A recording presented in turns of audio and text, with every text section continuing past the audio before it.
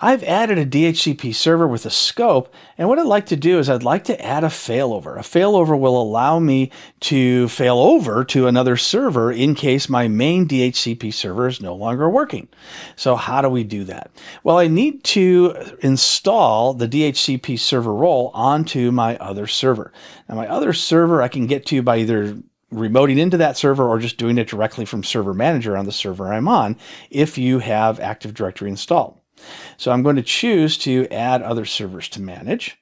And the server is going to be the one you see here. And when I click Find Now, you can see the DC2 server, which I can go ahead and add.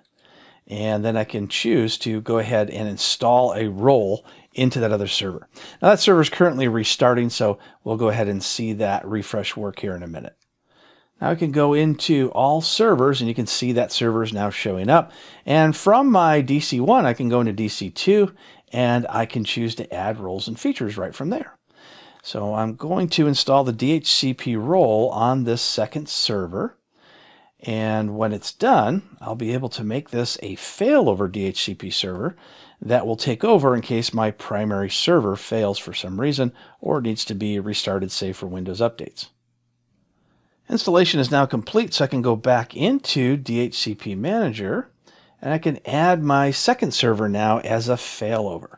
My next step is back in my DHCP Manager and I want to right click on the scope and choose to configure failover. And here it will give me a new wizard and it shows my current subnet, which is the 21.0 network. And that's because you might have multiple different subnets. So now I want to add my partner server.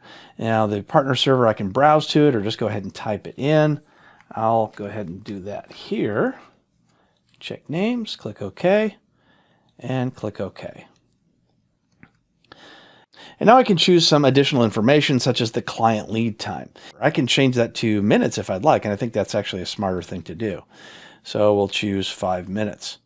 The mode can be load balance or hot standby. Load balance means that they're both going to be running at the same time, whereas hot standby means that DC2 will just be in standby mode until DC1 fails or gets rebooted. So let's go ahead and choose hot standby, but you can choose either one that you'd like. And where it says hot standby configuration role of partner, you can see standby. And then here we can see addresses reserved for standby server 5%. And that's how many IP addresses are going to be available for that second server in case you need it. I'll put in 10%, but you can choose whatever you'd like.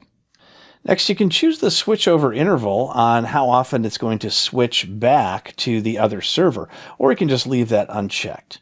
Now, if I choose the mode for load balance, then that means they're both going to be active at the same time. And by default, it's going to do a load balance percentage of 50%. So each server is going to take a request from a DHCP client for sending those clients an IP address. This is the most popular way of doing things. So in this case, it's always going to have both servers hand out IP addresses as needed rather than waiting for the second server to fail. But you can choose either option. Now you do want to have a shared secret between the two, so you can go ahead and type one in and that adds some additional security. Click next and finish. And it was successful. So I'll click close. I'm going to add in my other server just to show that this was successful. Click OK. And now we should see this show up in the left-hand side of the screen. And there it is. Here's my second server. It chose it by IP address, but that's okay. I can go ahead and choose to authorize it. And when I refresh, you can see that it automatically started that second server's IPv4 scope. So now it's going to expand it, and there it is. Scope X is in both places.